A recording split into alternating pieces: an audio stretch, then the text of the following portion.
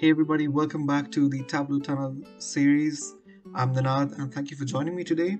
I hope you're all staying well and staying safe, getting vaccinated if you can, and getting that booster if you can. Uh, it's been a while since I've done one of these videos, and I'm back today to do the first of a few videos that I'm hoping to do to sort of um, create a, a video explanation of the blogs that I've done on Medium already which is essentially all the Tableau Tunnel blogs. You know, um, if you if you if you prefer the text format, that's absolutely fine. I'll be putting a link to these tutorials in my description, and you can you can check them out, and that's absolutely fine. But today I want to uh, basically show you how to go about creating visualizations, specifically football related visual, visualizations using data from Football Reference, which is a very, very widely used website and a very reliable website, I would say, because it has data from StatsBomb. And you know, StatsBomb is probably one of uh, probably the most reliable company when it comes to uh, providing data for foot for football data for analysis and whatnot. And so, without any further ado, let's get into it and let's try and create our first visualization using FBref data.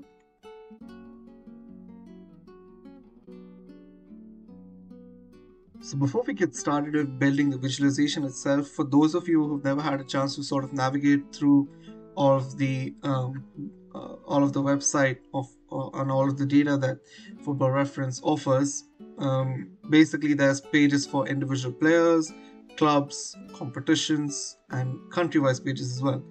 So normally, let's say you want to look at the Premier League, these are the latest stats. You can re- re- you can revisit previous seasons as well. I believe they have advanced numbers until the 20 from uh, the 2017-18 season. So you can get ex- uh, expected goals numbers from there. Starting from there. And this this is this is the latest. Um, so you have you know you have the league table here. Your standard stats here. So which is basically your performance rated metrics goals assists expected goals expected assists uh, for teams. And then you have your goalkeeping advanced numbers and so on and so forth. Feel free to check them out in your own time but this is basically um, a, a, you know a brief brief overview of what the website offers. Okay? So now having said that let's let's quickly uh, try to understand how you can export the data that you see on this uh, on the website. Okay now let's let's say for example you um, say you want to create a visualization that has uh, that's basically this league table for example. Okay so let's say we want to um, create something like you know goals for and against okay? So normally the one mean, probably the most um, you know easiest ways to control c control v copy paste all of this and into a different google sheet and whatnot. But the more uh, elegant way to do it would probably be to export all of this data as a CSV file. Okay, now what this does is this is all the raw data here, right? So all of this is very simple, just copying it and then saving it in a notepad file. So normally I do this. What I do is Control C, Control V, and then save it. Let's say we call it um, let's let's call it Premier League standard numbers CSV. Okay, so that's that's our CSV file saved. Now before you load this file into Tableau, you need to convert it into a different format. Okay, so you can use a number of uh, different websites to do this. Normally, I use something called Convertio because this website really helps with the formatting of the web uh, of the names and everything right? So what we quickly pick up our uh, file from there from where we saved it and convert it okay. So while this is getting converted just give it a second. Uh, remember this website has a limit for the number of files you can convert on a single day. It's probably I think it's about 10 the number of files that you can convert uh, on a single uh, in a single attempt. But anyway um, so we have our, um, our, our file now in Excel. So let's take a quick look at it and there you go. You see it. Um, we see our um, basically the same uh, same table recreated within uh, Excel. So let's quickly get rid of some of the stuff that we don't need. Right? Okay so there you go. Let me just quickly save this. And then the next step is to uh, is to load this within Tableau. Okay? So let's let's do that next.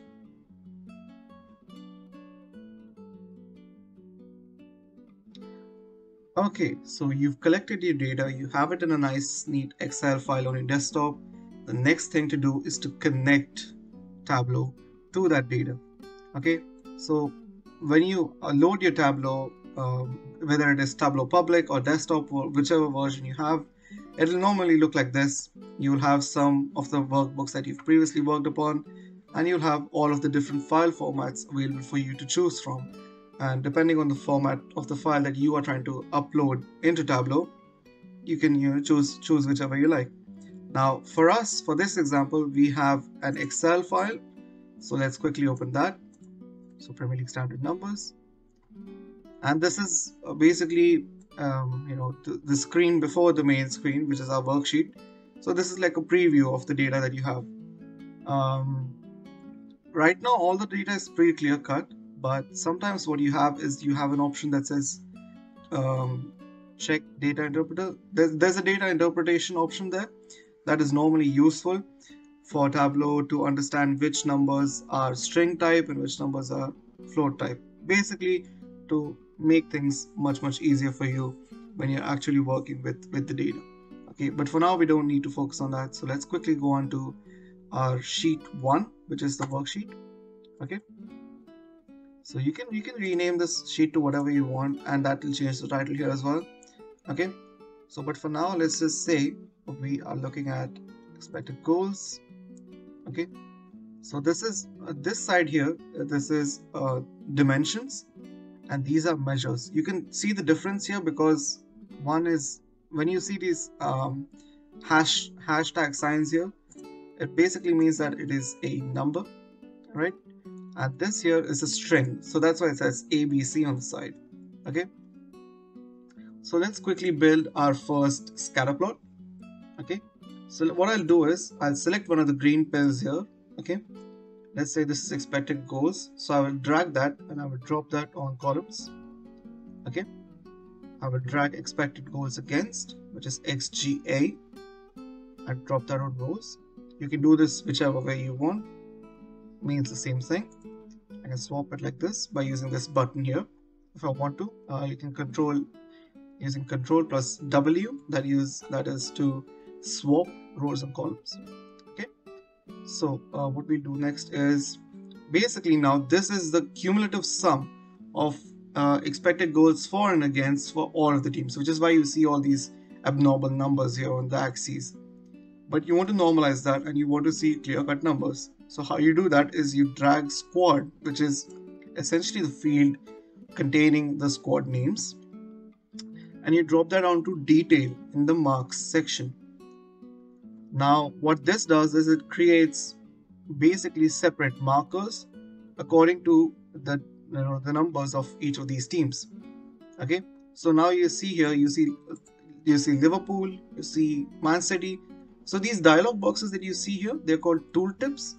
Okay, so that's why you see there's an option here called tooltip, which is basically this the, the dialog box that you see here, which specifies um, the minor details of um, the metrics that are on display. So this dot here that indicates is Man City, this is Chelsea, Tottenham, um, Burnley, and all of the different teams. Okay, so this is essentially a first scatter plot, but this is very basic, right? So let's try to make it a little bit more presentable. So let's say you want to label each icon by their team names. No problem, you can do that. So that's that is Chelsea, that's Manchester City, but you see that some names are still absent from here. So how do we fix that? Normally when you see there's a lot of white space here, that means there are numbers, you know, that there is unnecessary uh, lower limit on the axis. Okay, so what I what I generally do is I double click on the axis and I say uncheck include zero. So then that sort of collapses everything. And then I do the same here. Now you see the graph is a bit more filled up, isn't it? So um, now you see now there are better names more visible here, right? So uh, you have Liverpool here in the corner. So all these labels are already by default uh, beside each of the names. But say if you wish to fit in uh, more sort of uh, names in there, what you do is you manually drag them. So what I do is I will drag Liverpool to the side. There you go. You see Man City now. I'll drag West Ham up. See Manchester United's here, Southampton's here, Leeds is here, Leicester City. Can we drag them here? You can do that. You can drag Manchester United here. You do that. And Southampton here. And Arsenal here. And Everton here. So all of this is one option. But in a in a future tutorial, I can probably show you how to arrange them, you know, how to replace these markers with club icons because that is far more uh, sort of easier to read uh, to the naked eye. Anywho, so for now we'll stick with this. This is your uh, basically labeling the, uh, each of the markers with their team names. So let's say this is Premier League expected goals for and against 21 22 and you can change that to whatever font you want size italics underline whatever you get you get the image of it. Um, and for now this is just automatic type markers. So we'll change that to circle so that they are fully you know filled up. Nice and um, there you go.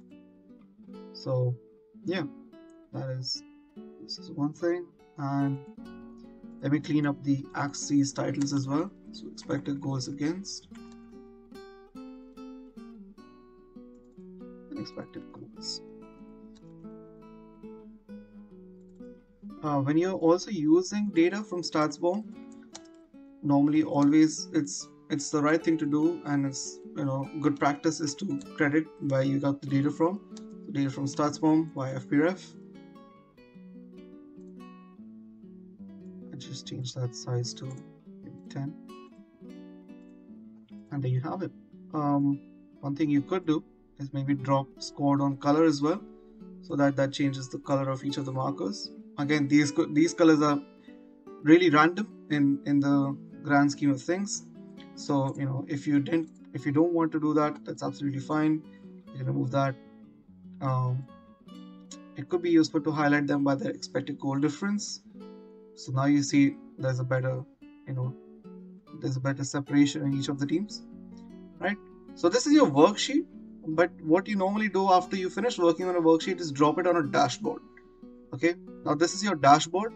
If this is the place where you do all of the work this is the place where you present it okay? So this is dashboard one. Let me just drag sheet one from sheets. That is the sheet that we worked on earlier and just drop it here.